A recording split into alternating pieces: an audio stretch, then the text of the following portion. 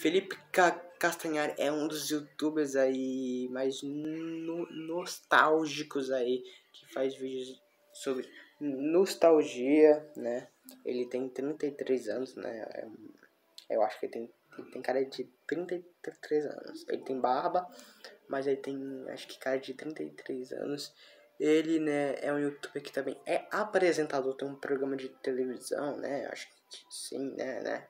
Não sei, né? Porque fui dar uma, uma, olhada, uma olhada no Google para descobrir um, um pouco sobre ele e vi que ele é, ele é youtuber, mas ele é mas ele, mas ele é apresentador de televisão. Não sei qual, qual é o, o programa dele. Ele já foi no Pode Pamar mais o Cauê Moura. E ele fala, fala de coisas tipo de, de nostalgias, tipo de nostálgicas, tipo, sei lá, sei lá, sobre o Egito, sobre Titanic, sobre várias coisas tipo no, no, nostálgicas, pô. Felipe Castanhari é um dos youtubers tipo, que sabe mais de tecnologia.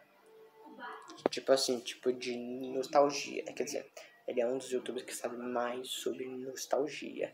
Impressionante, ele é muito top, ele é incrível, ele é brabo, ele é excelente, mano. Não tenho que falar. Ele já, ele já participou do, do, do quadro no Castigo do Júlio Cossielo, que é coisas no, nostálgicas. Muito massa também, cara. Incrível. Top demais.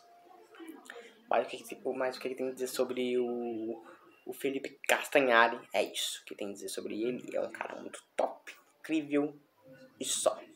Mas é isso. Thank